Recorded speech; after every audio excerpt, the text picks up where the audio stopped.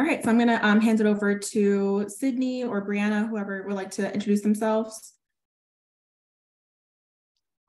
Hi, good afternoon, everyone. Can you can you all hear me? Okay, good. My uh, headphones are doing something funny.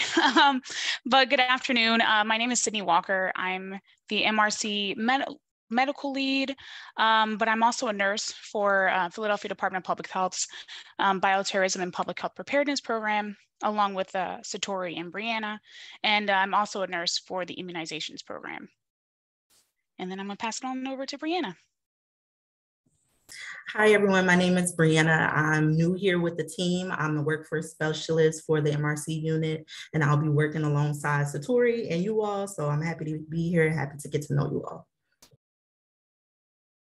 Thank you both. Um, and we're really excited to have Brianna a part of our team. Um, she'll be helping out, like she said, with a lot of MRC events, activities, deployments. So you'll be seeing her face. I still just wanted to introduce her to everybody so you'll get to know her um, as the time goes on. And we're going to get started. I'm going to share my screen. Um, if there are any technical, difficulties, I apologize. These things are always fun to navigate, but hopefully won't have any issues. Alrighty.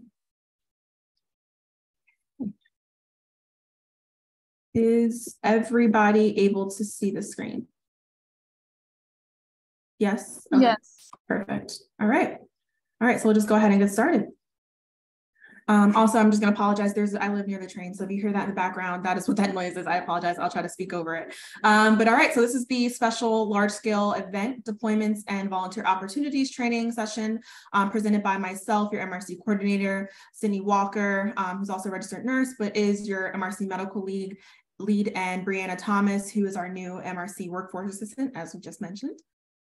And our agenda for this evening is as follows. I'm gonna, or Brianna, I'm sorry, is gonna uh, start off speaking to you about some just general MRC history and other useful information that you should know, um, being that you are volunteers within our unit. Um, she's gonna speak to some MRC partnerships that we've cultivated, strengthened, and kind of honed over the years and how that plays into our role within um, not only the health department, but within the city as well, within emergency responses. Um, and then I'm gonna talk to you a little bit about training and deployment prep, um, some of the upcoming special large scale event deployments we have and other volunteer opportunities that will be made available for you all. Um, the el eligibility criteria for specifically for special event deployments um, related to clinical and non-clinical volunteers. And then we'll move into talking about the volunteer deployment process as a whole and other useful information um, pertaining to that. Um, we'll then kind of move into talking about the MRC primary point of contacts for when you're out in the field at these deployments, large scale special events, whatever it may be. Um, there will always be someone designated uh, to be your support. And so that we'll talk about that. And then we'll kind of wrap up with a quick Q&A if you have any questions um, that I haven't already answered in covering this presentation um, that you would like us to speak a little bit more to or clarify anything that, you know, um, maybe confusing or maybe you just like some more detailed information about um, and then we'll kind of lead into Sydney's presentation and she'll talk to you about some sports medicine training, um, some tips and you know some tricks about things that you should know when you're supporting these large scale events, whether that's a sporting event like the Broad Street Run you just had, or something, you know, like the Welcome America event that's upcoming where you may have to utilize some of those skills um, for this deployment and the off chance that something may happen. All right, so now I'm going to turn it over to Brianna and she's going to speak to you about some MRC history. Brianna? Yep. So we're going to start with some history about the Medical Reserve Corps, also referred to as the MRC. The MRC was founded after the 9-11 attack on the Twin Towers in 2002. In the same realization that there was a great need for a massive workforce nationally, it was also noted that that same need was here in Philadelphia. So in 2005, the Philly MRC unit was founded to respond to emergency disasters and large scale events if and when needed. Our unit is involved in various emergency responses such as vaccination clinics and sites, community canvassing and outreach initiatives. One of our biggest responses was for the pandemic response in March of 2020, in which we deployed volunteers to support COVID-19 efforts um, all the way until May of 2022. Overall, the MRC is an organization that is greatly needed nationally and locally, and we are happy that you all are here to help serve um, for these efforts that we all put forth. So all of our work here would not be possible alone. We have uh, some partnerships with key organizations here in the community so that we can work in an effective and efficient manner. We work with the Philadelphia Office of Emergency Management and they help us to transport our logistical materials and supplies to and from deployment sites. We also have a really strong relationship with the Philadelphia Police Department, in which we provide them with three annual flu clinics every year. Um, and this helps with our volunteers to gain clinical and non-clinical practice skills in preparation for and uh, when and if they are needed to inoculate first responders in the community. And lastly, uh, we have a really great relationship with the Philadelphia Fire Department. We work alongside them in their medical tents at any large scale special events, such as the Wawa Welcome to America event that we're currently preparing for. And in the past, we've also worked at the Made in America concert, the Broad Street Run, and other similar events. And so um, thank you all, and Satori will continue the presentation from here. Thanks, Brianna.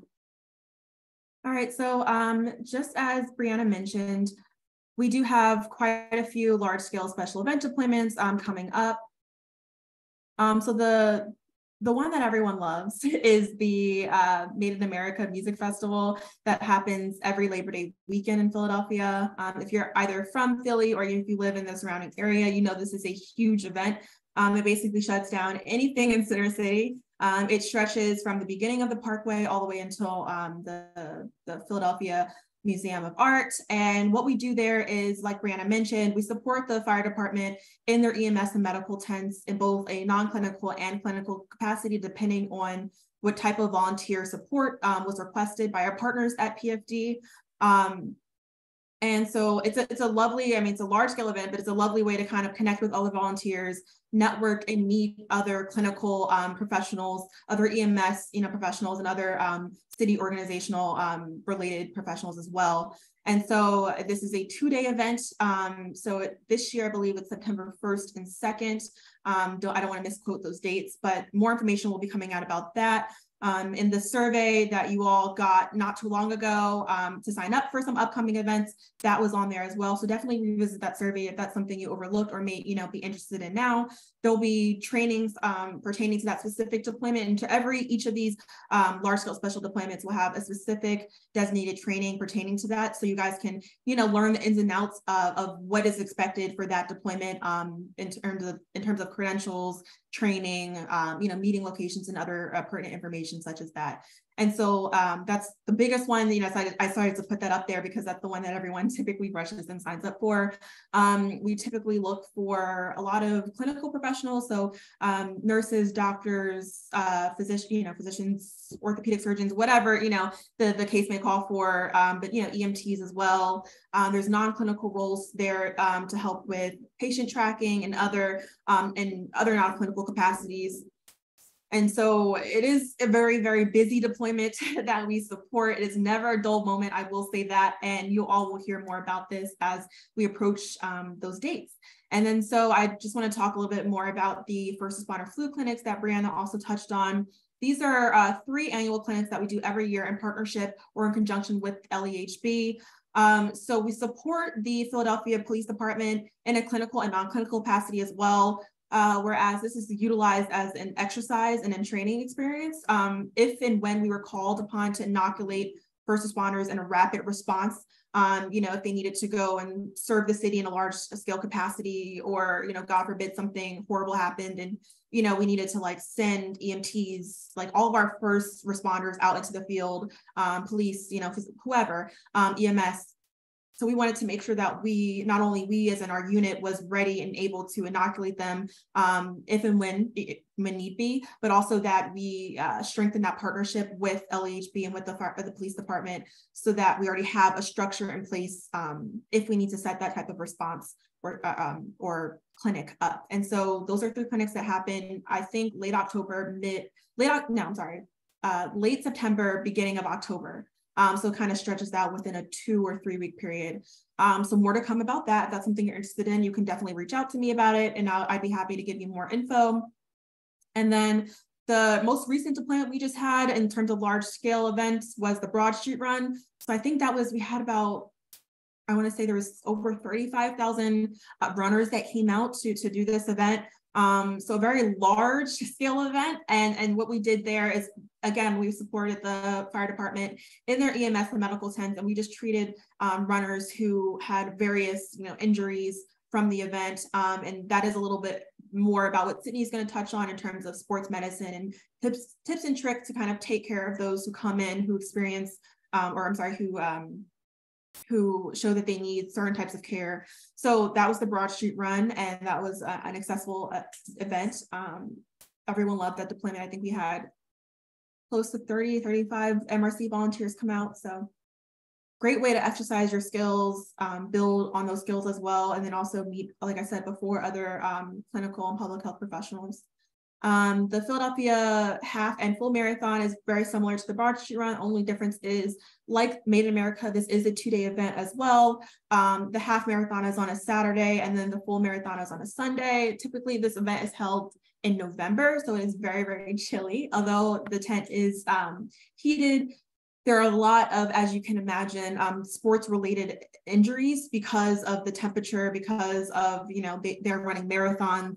Um, so we see a lot of injuries as well. And I'm sure Sydney will utilize this as um, an example in her presentation or reference this at some point. But yeah, so this is just another uh, event that we support um, the EMS, the medical, or the EMS and PFDN and they're in their medical tents. And yeah, there's also um, roles here for non-clinical volunteers as well.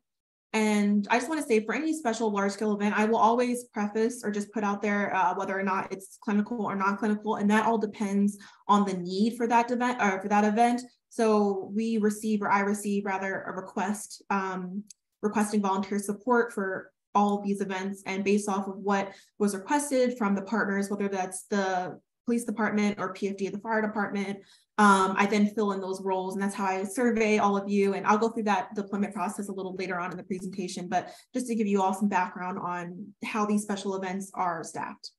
Um, and then as Brianna mentioned earlier, the Wawa Welcome America Festival is coming up. That'll be July 1st, I believe. Um, and we'll have clinical and non-clinical volunteers again in the in those EMS and medical tents to help support um, that event. And that is a public event, so it's not gated or secured as Made in America or um, the marathon events would be. And so there are a lot of people. Again, this is held on the Parkway. Um, we I will be speaking more to this in a specific training that'll be provided for volunteers attending this deployment.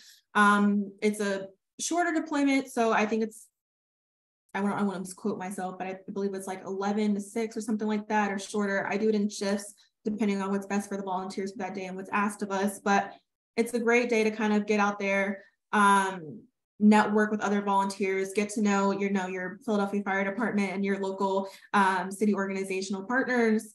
And then it's because it's a family oriented event um, we've had volunteers in the past, you know, their families would come and kind of join them after the deployment was over and they would go and enjoy the event as well. So, but we'll talk more about that, um, you know, as the time approaches, but those are just the four annual large scale special event deployments that we staff and support every year. And now we're going to talk about the volunteer deployment process. So you guys are very familiar with this at this point. Um, what you'll do is, you know, what we always do, which is I send out um, you're going to register to become a volunteer. That's the first step. And you guys have all done that, obviously, because you're here. And then once you're registered to become a volunteer, you'll then be able and eligible to sign up for volunteer deployments and um, volunteer opportunities. And what that looks like, you all know, um, you'll receive a email from us with a survey link attached, and it'll list the volunteer deployment opportunities that are available to you, whether that's um, special large scale events like any of the ones I just mentioned in the last couple slides, or training opportunities such as these. Um, a lot of our training opportunities are tailored specifically either to um, specific deployments or uh, catered towards uh, specific topics, um, whether it's, you know, fentanyl testing strip trainings or Narcan or um, first aid or mental first aid or psychological first aid, something around that.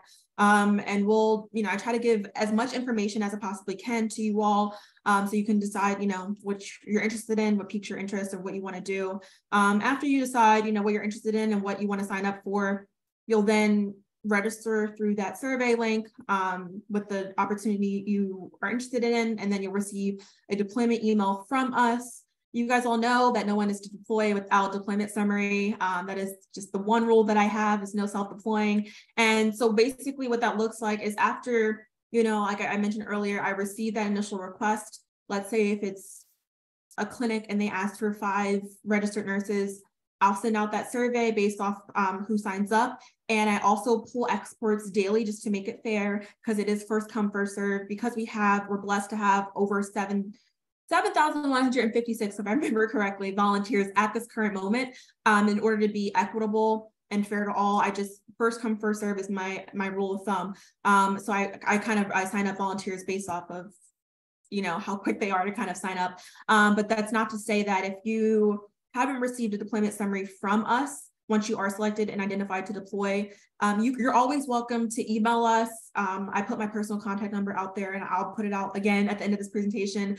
You can contact me um, for anything. If you're really, really interested in like a specific deployment or a specific training, I'm willing to work with um, work with you in any way that I can to make that happen. Because at the end of the day, uh, this is your volunteer experience, and I want to make sure um, that you're getting, you know, the most out of this um, organization. So we're here for you we want to make it work. So if you don't hear back from us either, you know, directly with a deployment summary or maybe, you know, if you miss the email, sometimes it does end up end up in your, your junk or your spam folder, or if you are confused by a deployment summary or anything really, you can always reach out and ask us about it. Um, and we'll definitely, like I said, work with you um, that way.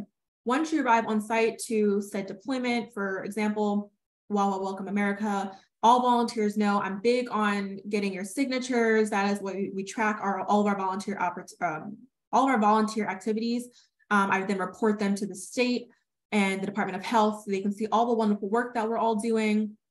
So you'll sign in, and if you're a brand new volunteer, um, we'll ask that you sign, you read a review, and then you sign a uh, volunteer waiver. And there's a confidentiality clause and a liability clause. Um, we can explain both of you, both to you in depth in person. Just a, a quick overview of what that is.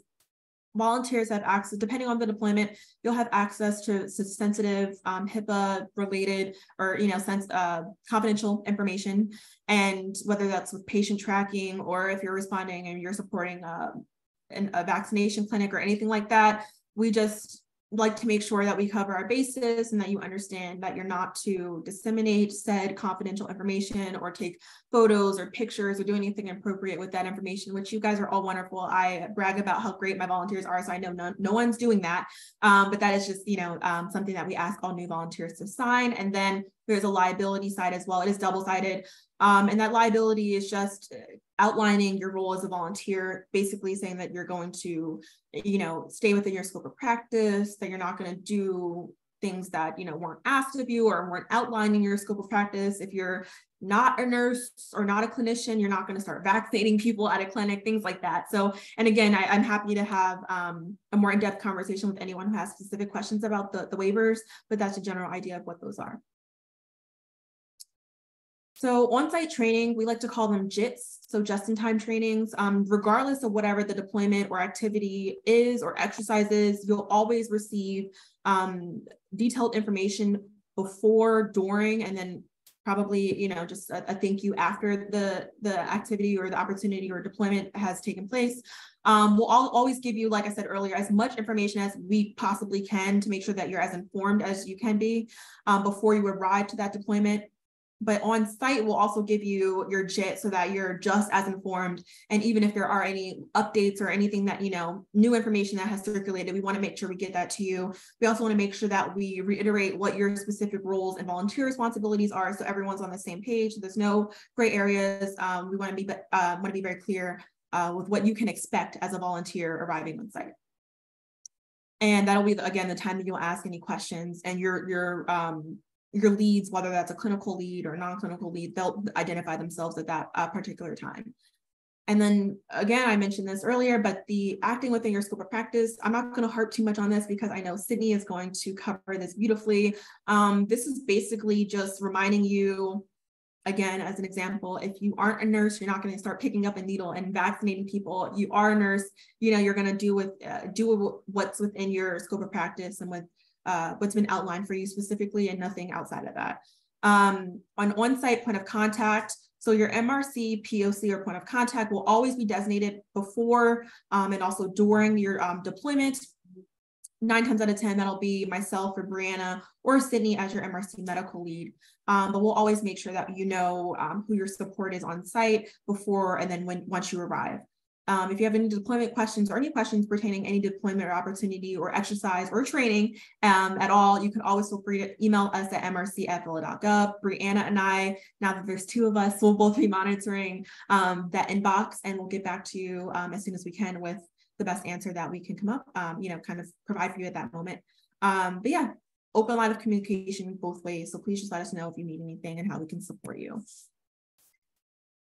I kind of covered this, so I'm just going to briefly cover this, but your arrival time, meeting location, check-in, all the pertinent information that you'll need pertaining your, to your deployment will be covered in your deployment summary. All volunteers are expected to arrive um, on time, preferably for your uh, deployment shift. And that is because for a lot of these special large-scale events, um, these uh, these events have a lot of security and they are high-level events. So arriving on time is very essential because if you arrive even 15 minutes late. I've had ever volunteers. It's been very difficult to kind of get them through, um, even with credentials, because for instance, for Made in America, it's a high security event. So they kind of block off everything around the parkway. Um, if you arrive, especially if you're driving into these events, you have to be on time or you either won't get let in or it'd be very difficult for you to navigate your way through.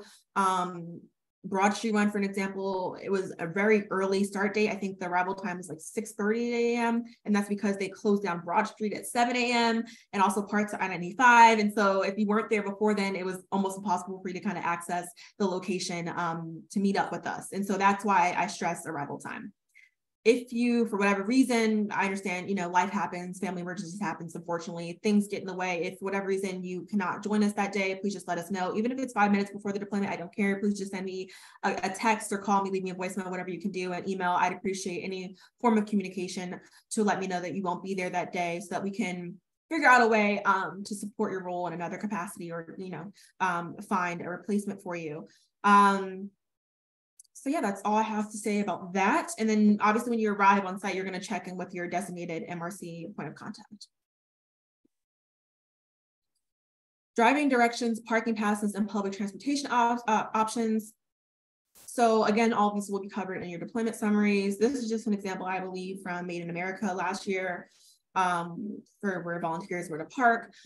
I try to provide as much detailed information as I possibly can about parking and about driving I receive my, uh, in full disclosure, I receive all of my information from our partners, whether it's with the fire department or from the police department.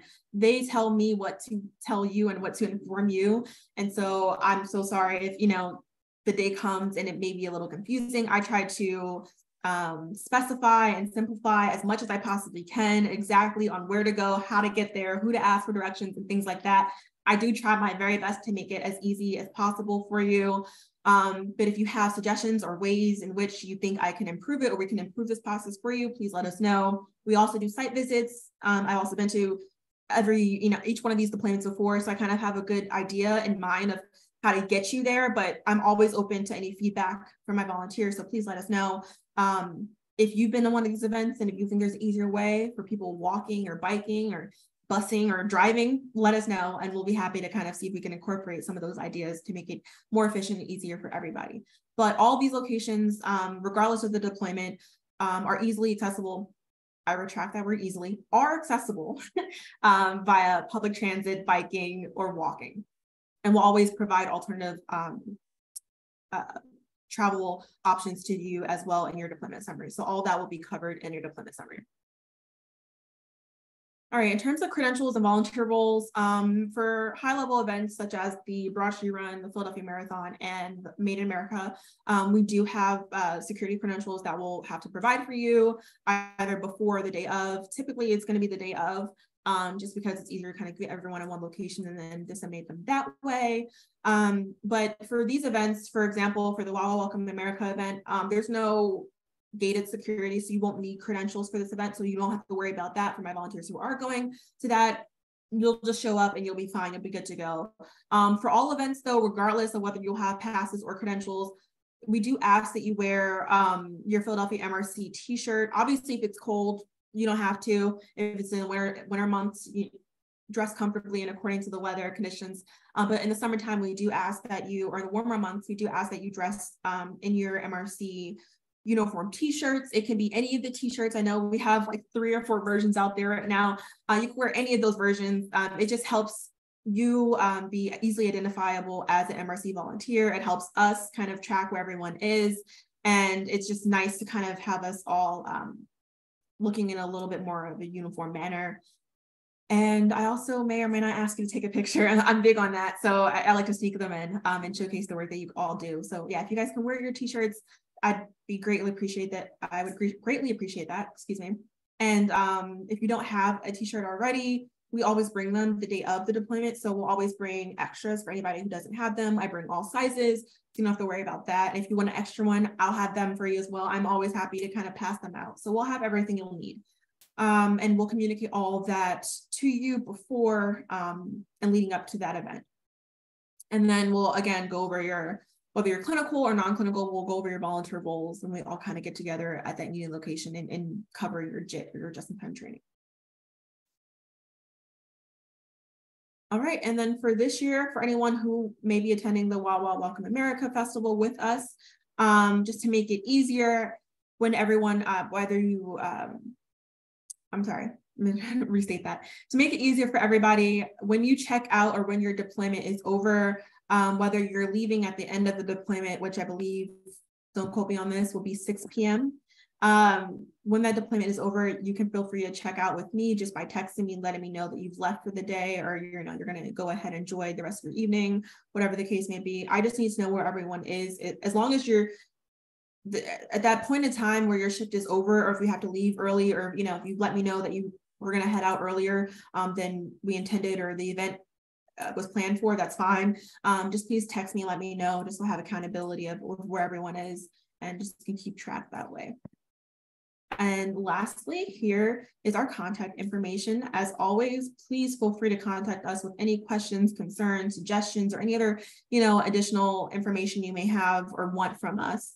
Um, you can always feel free to update your ServPA profile, you know, in your uh, ServPA account at www.servpa.pa.gov. Um, and then you can feel free to text, call, leave me a voicemail. Um, here's my personal contact information. Please, please use this contact information if you have any questions. Um, please don't call Sydney or call Brianna. Their numbers will be listed as MRC point of contacts for several deployments. Um, but for any pertinent or anything related to the MRC, please just contact me um, first. I will be your primary MRC contact for all of your needs.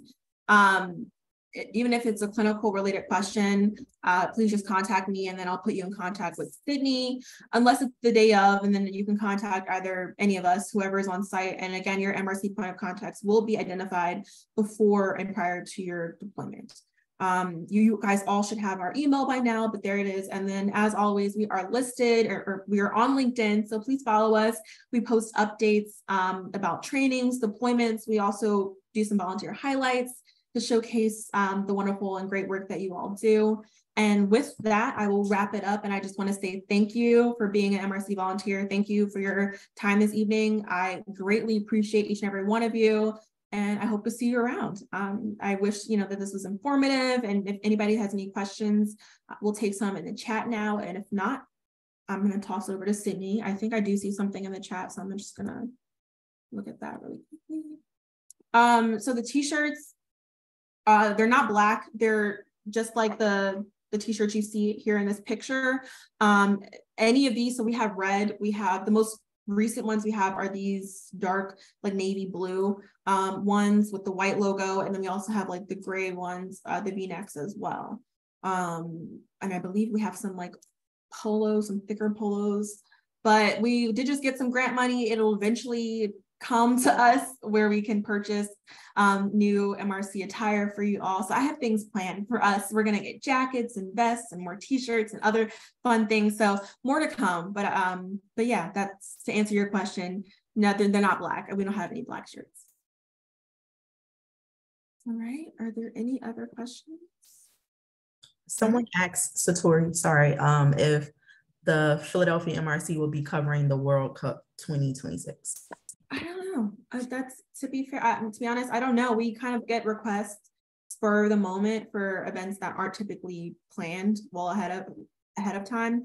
Um, there is a fair chance though that if anything, it's fair to say that if any large scale events happens in Philadelphia, whether that, you know, whether the Eagles win the Super Bowl next year, whether the Phillies go to the World Cup, you know, whatever next year uh, or World Series, um, we'll we'll more than likely be involved in those responses. So yeah, and I'll definitely let you guys know as soon as I know. I'll let you know, even if I feel it or anticipate it coming. I'll definitely let you guys know. Um, but yeah, they'll more than likely if we will if it's in Philadelphia, more than likely we'll be involved. All right, it looks like that was the last question. Um, if you don't have a shirt yet, how do you, okay, so if you don't have a shirt yet, don't worry about getting one. I'll bring it to the deployment. If you want a shirt just to have a shirt, our office is at 11th and Market. You're always welcome to pick up one Monday through Friday between the hours of nine to five. Um, as long as you email or text or, you know, let me know and we can coordinate that um, you know, offline and I'd be happy to provide you one. I'll bring it down to the lobby for you, whatever you need. But um, if you're deploying to a site, you don't need to wear one. I'll bring one with, you know, an extra for you to provide for you the day of. So you won't need to need to bring one.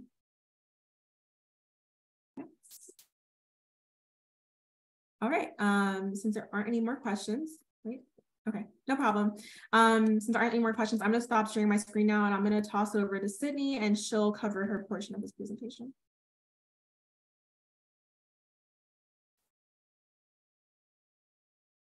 Okay. Let me just go ahead and play. All right. So good evening, everyone. So today I'm, I'm seeing a lot of familiar faces and names. Um, and so a lot of you guys have either participated in one of our uh, special events or have seen this um, training before. Uh, so please, if you have any questions or need any clarity, or you just want to like even add anything, please feel free to use the chat. Um, in the end, we'll have a you know question answer or just kind of a a moment to maybe you know share something that you've learned when we when you were with us out at one of the special events. Um, but further ado no further ado i'm going to just go ahead and get started. Um, so today i'm going to talk about common injuries injuries and illnesses at mrc special events. And um, I'm, also going to give you guys um, uh, the uh, scope of practice for mrc that i always give before we start a special event um, just so you all um, can kind of know what's expected and or what's not expected and what you can and cannot do while volunteering under um, the guise of, of MRC. And okay, so I just kind of went over that. Uh, but yes, so let me just first stop, just share a different screen here. Hmm. Practice, okay.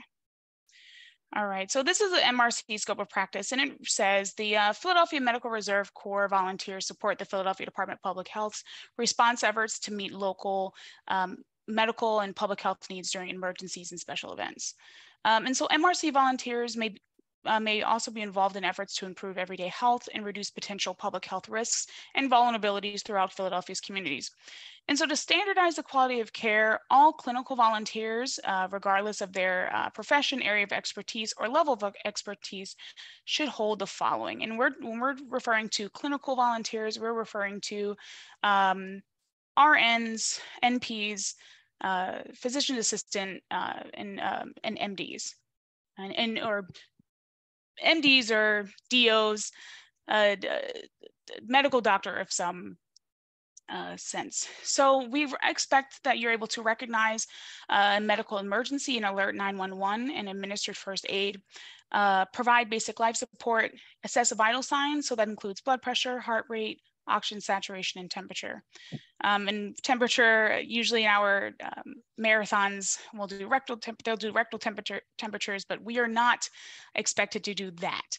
Um, we also expect that you um, are able to administer IM or sub-Q injections, and that's according to the PDPH medical standing order. And this is for vaccinations or um, pre-exposure uh, or post-exposure uh, prophylaxis purposes. We would um, also look for you to dispense oral medications according to the PDPH medical standing orders during a mass uh, prophylaxis response. Uh, distribute and administer oral uh, medications during a mass care event. Um, and then perform initial assessments to alert EMS or partnering agencies. And so we expect that you're able to assess neurological functioning, uh, external body conditions or injuries, physical complaints or concerns. Uh, we also um, look for clinical documentation and the ability for you to lift over 50 pounds or more. So unless there's a surge and additional medical assistance is required to support uh, emergency responders, um, MRC volunteers are exempt from initiating peripheral IVs and administering um, IV medications. I, I, also want to back up. I just want to add to our clinical group that uh, EMTs and paramedics are also included um, in that group. We just expect that everyone works under their uh, scope of practice. But anyway, um, if anything's, uh, if something is unavoidable, like initiating a peripheral IV or administering IV meds, um, the peripheral IV insertion or administration of medications must be approved and completed under the direct supervision of the medical operations lead on site. So whether that's myself or um, one of our other PDPH employees um, that is a clinician, they would be the ones to approve and um, and uh, observe that administration. Also, you are permitted to um, perform any, any invasive medical procedures or interventions. Um, so while assisting in a deployment, all MRC volunteers are only permitted to perform duties defined by their licensure. Any deviation or exceeding one scope of practice or level of training will result in removal from MRC. Okay. Are there any questions about that? Seems pretty straightforward. And you don't have to try and remember that. We do go over um, this scope of practice before any special event. No? All right. So I'm going to switch back over to the PowerPoint.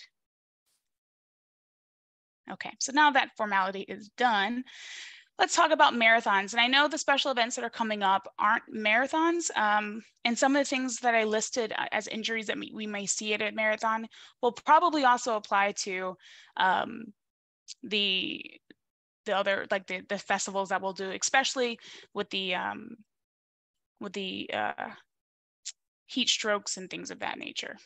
Okay. So the common illnesses and, um, that we see at the marathon events include like heat, cold, and exercise associated illness. Um, so that includes, you know, dehydration, heat rash, sunburn, muscle cramps, heat exhaustion, heat stroke, uh, or hypothermia. And then there's minor injuries like cuts and grazes or blisters, uh, joint and bone injuries, so sprains, joint pain, shin splints, fractures, and then muscle injuries like tears or strains.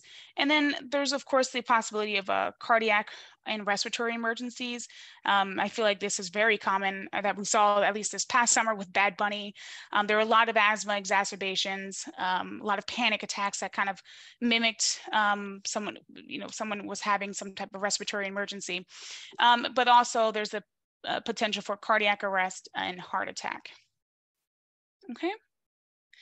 So the heat, cold, and exercise associated illness. So um, out in these summer festivals that we'll be going to, sunburn is um, very likely, uh, especially because a lot of people like to stay outside and wait until their preferred artist uh, comes to the stage. So they're just outside all day in the sun and probably aren't protecting their skin or hydrating well.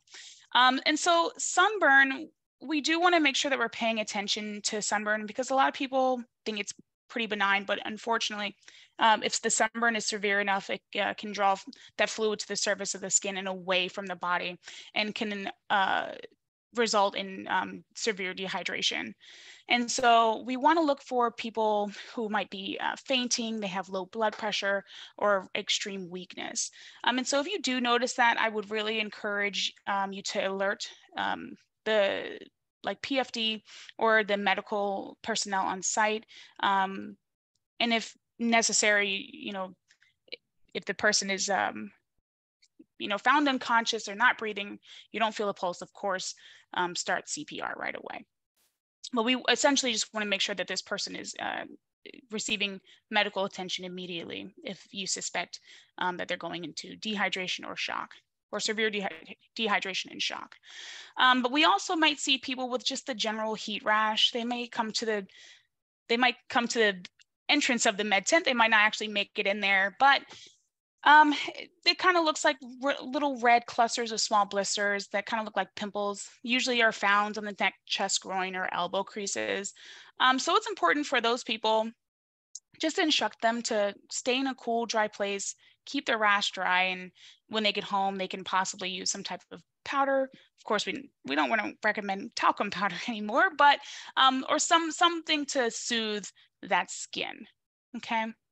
If we do have someone that has sunburn that has resulted in blisters um, or just sunburn in general, when they get home, they can, it's important that they stay out of the sun until the sunburn heals.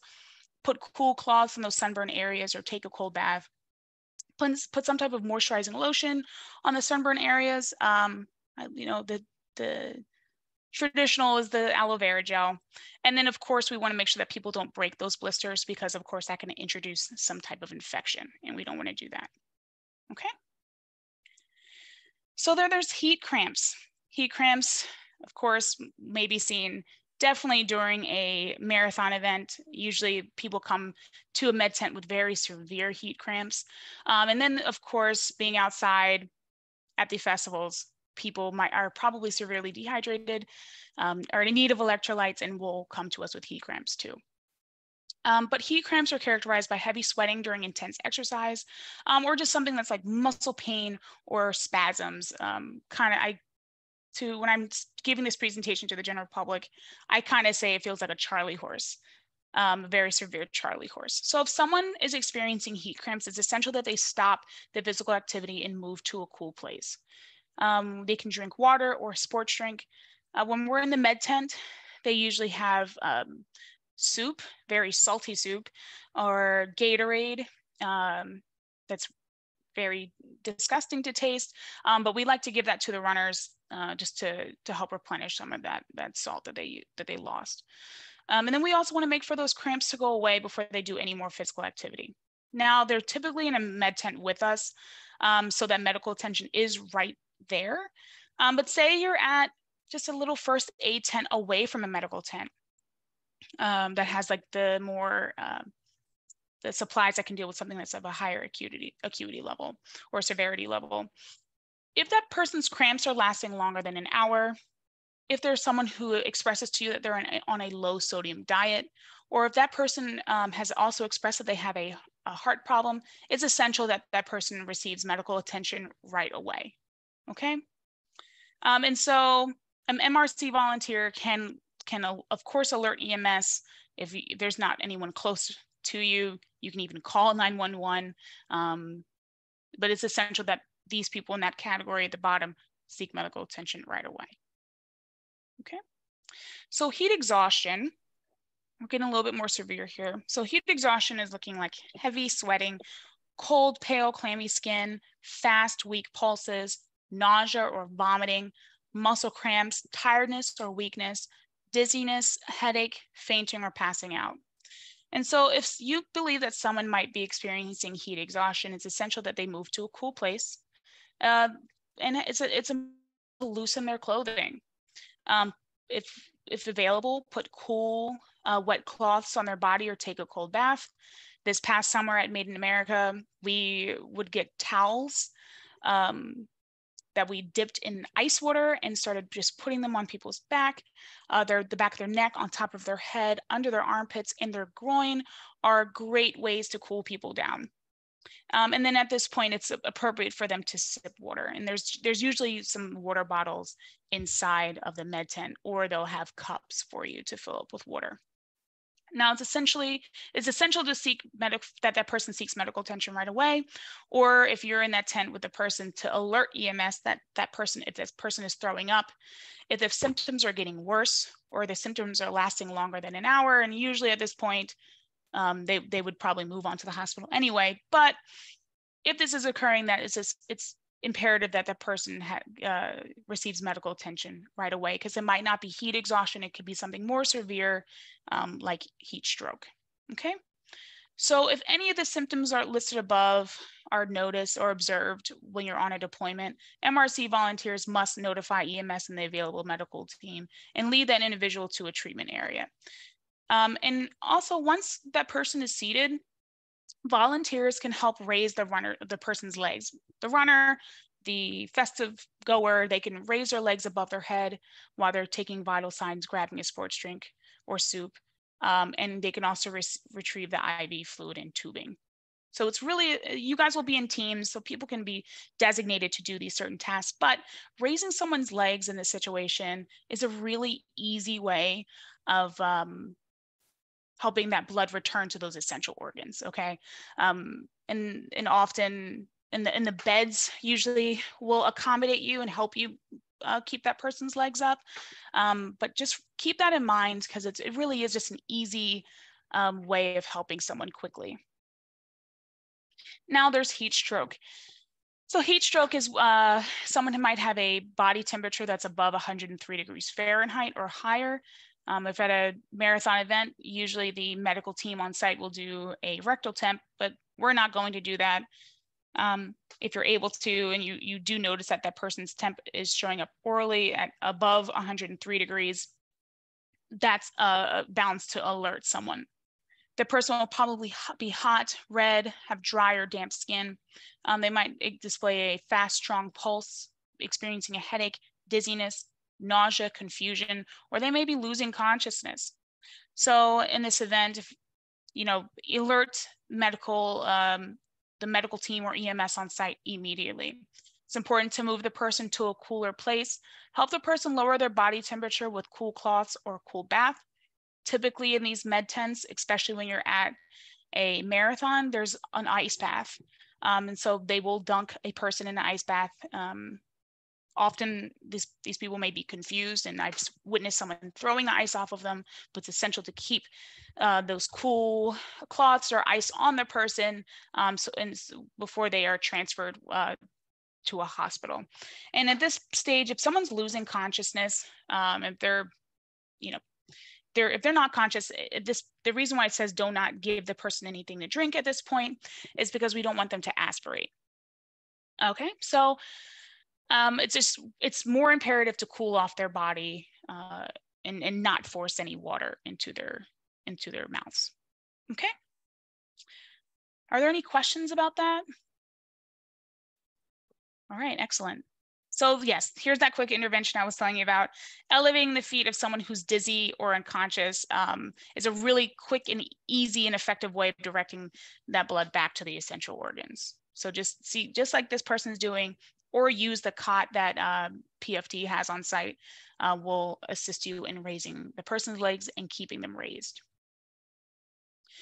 There's also the chance of hypothermia, like when we were doing the Philadelphia Marathon, it is absolutely freezing cold during that race. Um, so hypothermia is caused by prolonged exposure to cold temperatures and can even occur if the temp if the outside temperature is above 40 degrees Fahrenheit. So a body temperature that's too low can affect the brain and making it difficult for people to think clearly and can impair their judgment. And so usually we'll see with our runners, they might be experiencing like early signs of hypothermia, but we'll keep running because they're just not making, they're not able to make the, the best decisions um, when they're in this state. And so people who remain outdoors for long periods of time are, are at high risk. And so our runners doing a full marathon are uh, at high, high risk um, just because that is a lengthier race and it is usually very cold during the Philadelphia Marathon. Um, and so those signs uh, and symptoms look like shivering, someone's body temperature is below 95 degrees Fahrenheit. Uh, they're, they're feeling exhausted or tired. They're, they're confused. They have like fumbling hands or trembling, trembling hands, uh, memory loss, slurred speech, or drowsiness. And so if someone appro approaches the medical tent um, and you notice these symptoms, um, it's um, essential to alert personnel as soon as possible. Get that person to a warm shelter, so the, the medical tent. Remove any of the wet clothing, so that clothing they've been sweating in, because that's just doing nothing but making them stay cool. Um, you want to warm the person, um, the, the center of the person's body, so their check, their chest, their neck, their head, and groin, um, using the materials that are available. Usually on the outside of the tent, they hand them an emergency blanket, but inside the tent, there's there's uh, other options. And then you want to provide a warm drink, um, and there's usually like a warm soup that's available, but of course not to someone who's unconscious because of course there's the risk of that uh, aspiration. And then if, uh, if needed, uh, perform CPR. So then there's frostbite. Um, so it's an injury that's caused by very, very low temperatures. And so symptoms are kind of look like the loss of feeling and color in the affected areas. So typically the nose, ears, cheeks, chin, fingers, and toes, those uh, extremities um, that are typically very exposed to the cold uh, are most affected. The skin will usually appear white or grayish or like yellow, purplish, brown, or ashen skin. Um, and so depending on um, this person's skin tone, it may, may appear more ashen or uh, waxy than anything. Um, so and if, if, the skin also feels a little bit more firm, if they're if the person's experiencing numbness, that could be a sign that they're experiencing frostbite. And so if not treated, it can lead to amputation of the affected body parts. But because we're such great volunteers, we're going to make sure that the person receives treatment right away. And so um, the treatment would probably include getting that person to a cool area as much as possible, alerting that medical staff as soon as possible, um, and unless absolutely necessary, it's important to make sure that that person isn't walking on those on the feet that are showing signs of frostbite because it could increase the damage. So we want to make sure that we're putting them in a wheelchair to lead them into the bays. Um, don't rub the frostbitten areas or massage it at all. Typically when we're cold, we do one of these numbers. Um, that can also uh, increase the damage.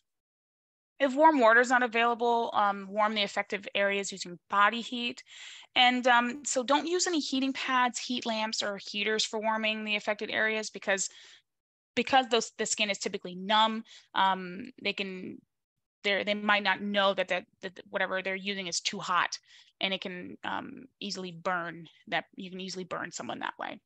Um, and then also check if someone's hypothermic. Um, I'm so sorry. My my dog is my dog is uh, trying to get into the camera. Okay, so now we're going to see look at the injuries and uh, illnesses and injuries that are seen at festivals. But before I continue, just want to make sure there's no questions. All right. So first, there's the minor injuries. So we'll see lots of cuts, scrapes, and grazes. At the marathons, they usually put a a speed bump to cover the wires right at the finish line where people are tired and so people trip and fall all the time.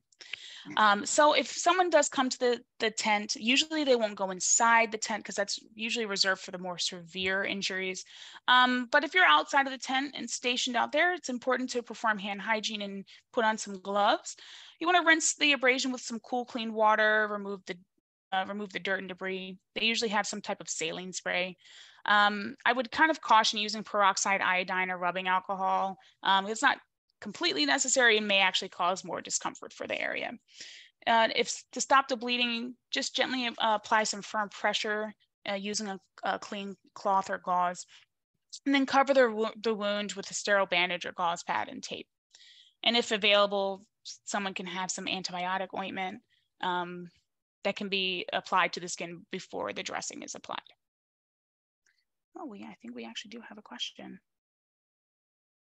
Um, so the the question uh, in the chat was: Are ambulances able to get past gated events like um, in Made in America? Yes, they are. Um, actually, the PFD will have um, ambulances waiting inside, um, and the area where the med tent is is usually situated so it's uh, they have a street that they, that's easily accessible and, and without much traffic. But great question. All right. So then there's blisters. Um, we see lots of those. Uh, people usually wear very uncomfortable clothing or shoes, or and of course our runners, they've they're prone to blisters uh, for running these very long races. So if you if someone does come to you with a blister, perform hand hygiene. Of course, use gloves. Wash the area gently with uh, mild soap or that saline spray that PFD um, supplies. You can apply antibacterial cream or ointment if available cover the blister with the bandage or gauze, and instruct the patient to not pop, um, break, or peel off the skin of that blister if it's if you know later or if it's already popped um, because we don't want to introduce infection to the area. And if available, refer them to the podiatry team. Um, usually there's a podiatry team on site and they're usually full of like podiatry students. And so they're very eager to help even with blisters. Um, so just definitely refer them to, to, to them. And then so there's the mus musculoskeletal injuries. There's not really much that we can do um, as, as, MRC volunteers, um, but when the person's home and recovering, it's a you can inform them to follow RICE. And so RICE is an acronym just that just means rest, ice, compression, and elevation. Okay, I'm sure a lot of you guys have heard of RICE. My first degree is in kinesiology, so this was our like go-to answer for a lot. um, so the shin splints uh, are typically developed um, after uh, and will and people will have the pain uh, post physical activity and it's typically associated with running and so eh, the signs and symptoms are pain along the um, inner edge of the, the, the shin bone or the tibia and the treatment really is just rest ice um, and stretching but if the patient it's important that you guys instruct patients to seek treatment if the pain is localized the pain is worse in the evening or if the area of the pain increases. Um, but again, this is something that's probably not going to be seen inside the tent, but it's something yeah, you as a volunteer can address outside, right in front of the tent. There might be joint pain, so uh, which is like just pain, stiffness, and swelling, and it can be a normal occurrence after exercise. That acronym RICE is recommended in this case, and the patient should be instructed to see a doctor if the pain is sharp, stabbing, constant. Uh, it's a pain that causes a limp. It's a pain that lasts longer than two hours after exercise or worsens at night. Pain or swelling that does not improve with rest, medication, hot or cold packs. We want to say cold at least what I learned in school when I was in kinesiology was cold packs first and then hot for the um, more chronic pain. And then um, if the if there's a large increases in swelling or or uh, in the joints that feel hot uh, or red, that's a that would be a something that they should inform their doctor about. And then so injuries that volunteers may see but fall outside of the MRC scope of practice would be sprains, fractures, muscle strains, and muscle tears. If you suspect that someone may have one of these um, injuries, MRC volunteers can escort a patient to the appropriate medical team on site. And so it's typically someone that that would be someone that is seen inside of the tent. All right, so then there's cardiac and respiratory emergencies. This, of course, can be seen at a festival or a um, marathon. So we see a lot of asthma exacerbations, especially at the um, festivals when people are pushing against each other, uh, causes a lot of a lot of crushing um, injuries that, that are that can happen. There's lots of smoke, uh, and people who do have a history of asthma typically have a very tough time at these um, festivals. So the signs and symptoms usually include wheezing, coughing, uh, chest tightness, or that's become severe and uh, inconsistent. It's um, it's being pretty hard. It's too hard to to speak because they can't breathe. Um, they're breathing faster, they have a fast heartbeat, there's drowsiness, confusion, exhaustion, or dizziness, um, blue lips or fingers, and then fainting. And so if you do notice someone um, is might be experiencing a asthma exacerbation, uh, bring them into the tent and, and uh, alert EMS or, or the medical team on site. But in the meantime, while someone is uh, setting up all the wires and and trying to get their their vital signs, you can help by keeping the person sitting up straight, trying to keep them calm and instruct the patient to use their inhaler if they have brought one with them. And so then there's the cardiac emergency or heart attack. Um, so signs and symptoms of a heart attack usually include like mild to severe chest pain, uh, pain that radiates, radiates to the arm, shoulder, neck, jaw, back, uh, and towards the waist, shortness of breath, nausea, stomach discomfort, heart palpitations, anxiety, or like a feeling of impending doom. They talked about a lot when I was in nursing school. Um, sweating, lightheadedness, uh, dizziness, or passing out. And so if you suspect that someone um, is having a heart attack or you it could potentially be one, it's important to immediately notify um, the medical personnel on site, so the EMS or the medical team try and keep this person calm because uh, the panic attack really will not uh, make the situation any better. And the person becomes unconscious and unresponsive. If you have already notified e EMS, uh, you can assess the airway, check for pulse, and if, and of course, um, if necessary, start CPR.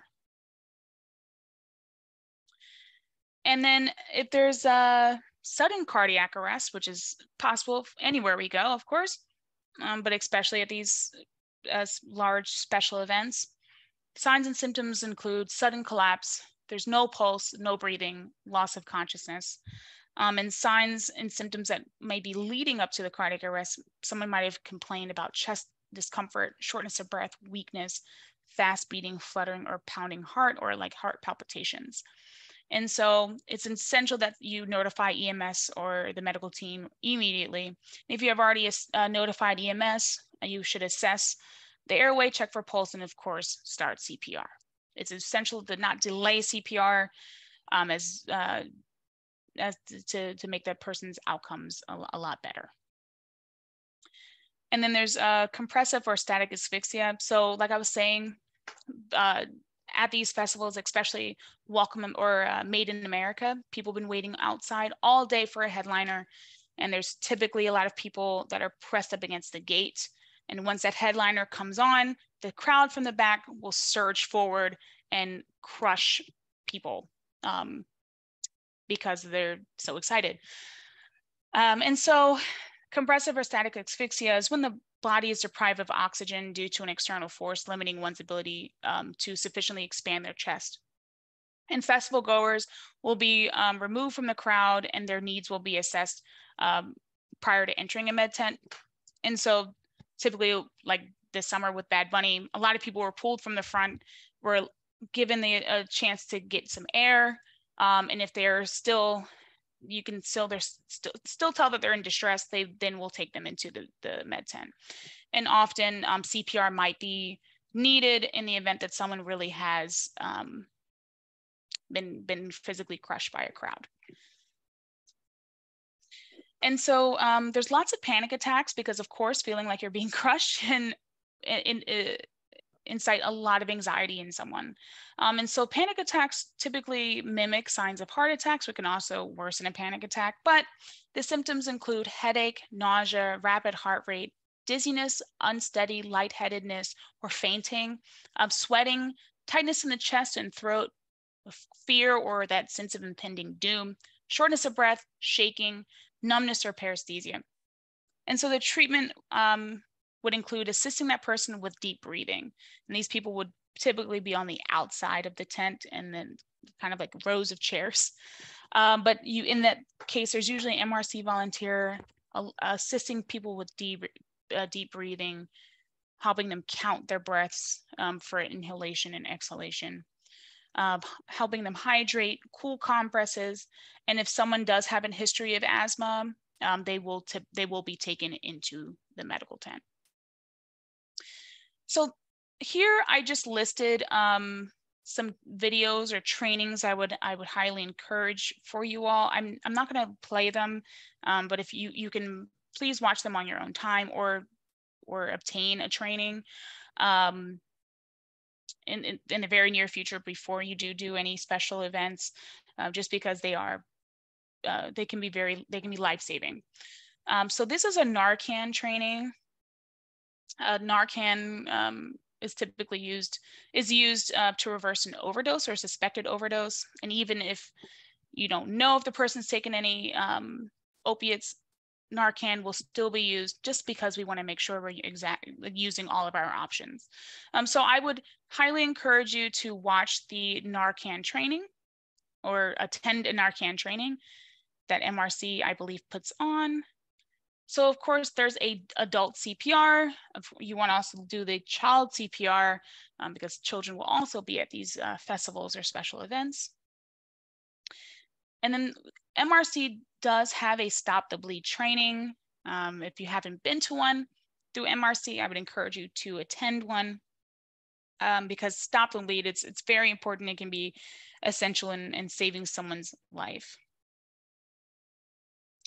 Okay, so but when in doubt, always consult a PDPH medical ops lead like myself or maybe someone else um, on site that's with the city of Philadelphia that is a clinician, but always consult them if they're designated the medical ops lead.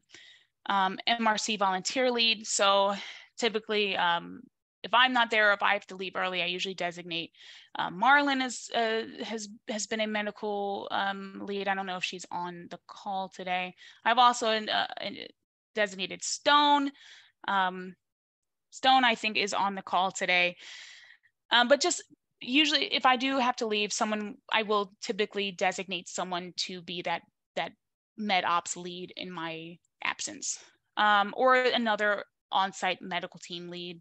Um, so if it's someone with EMS, Penn Medicine, or Jefferson, or whoever we're partnering with or um, we are helping that day, uh, just uh, uh, consult them if you if you have any doubts. Okay, so are there any any questions? I know I just went through a lot and it's a little bit over time, but I just want to make sure that I give you guys a chance to ask questions.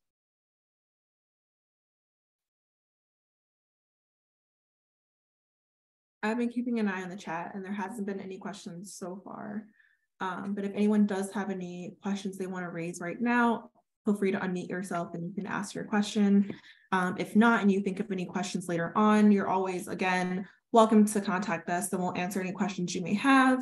Um, I just want to say thank you to both Sydney and Brianna for participating in this training this evening. Thank you all for being here. Um, where can you stop? Yes, so I did drop in the chat that there will be a stop the bleed training this Saturday at our office building um, at 11th and Market Street. Um, I did send out a round of emails for people who had initially signed up for it, but if you did not, no worries. I'll be sending out um, another reminder tomorrow. Um, so I do see someone just asked about that. So Bridget, uh, email me, please. Email mrc at phila.gov if you guys are interested in attending this in-person Stop the Bleed training. It is right now, I, it's from 9 until 12 p.m. Um, it'll be uh, a presentation that our instructor Nora Kramer will provide for um, for everybody. She's from Jefferson, and um, we'll also do an in-person or a hands-on portion as well, where you can actually take. I believe she'll be bringing like the limbs with like the slashes and stab wounds and all that, so be able to like practice some of the skills you'll, you'll learn um, during that presentation, um, hands-on in real time. So yeah, that hopefully that answered anyone's questions. We would love if you all could join us. Um, we'll be hosting another Stop the Bleed training because we do have a limited capacity of 40 people for this specific training, just given the space we have, but there will be others and we'll do these in sessions, um, you know, just continuing. So you'll hear more about those trainings um, soon. So if you don't make it to this one, or if you're not able to make it to this one, there will be others, I promise. But yeah, with that, um, I'm just gonna double check the chat one more time, just make sure we didn't miss anything. All right, doesn't look like we did. Uh, thank you everybody. Oh, hi, Julie. Uh, thanks for, for joining us this evening. Um, that goes for everyone as well. Again, we appreciate your time, your participation, and your attention. We hope to, to see you all in the future, have you participate and partake in some of our volunteer opportunities, and just thank you for your service. We appreciate you being an MRC volunteer at the end of the day. So with that, we will sign off. I'll stay on for just a few moments for anybody who has any lingering questions or if you want to speak to me one-on-one, I'm here for you. I'll just stay on for a few moments. Other than that, take care, enjoy the rest of your evening, and you'll hear from this, you'll hear from us soon. So yeah. Good night, everybody.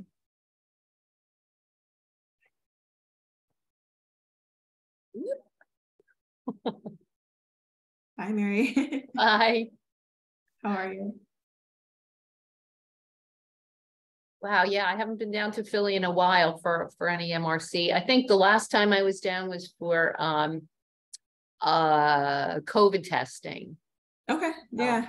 Um, um yeah, but we um more of my kids live in Philly again, so I'll be down more often, but um I hope I can get down for that training on Saturday. So should I just email you about that? Yeah. Confirm mm -hmm. everything? Okay. All right, great, Email me and I'll send you all the details and information tomorrow. And if you have any questions, just let us know. great. Okay, thank you. Thank you all so much. forward to Look seeing you. working- Yeah, okay, take care. Bye. Bye-bye. Thanks, y'all. See y'all soon.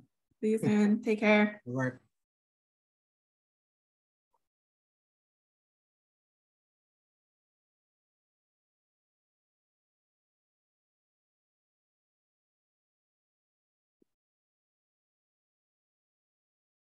Me end this, this recording.